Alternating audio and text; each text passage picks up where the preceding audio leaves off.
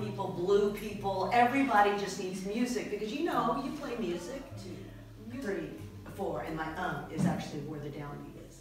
You're slightly. I, I, what would be something that would be like that for you guys in Slovenian music?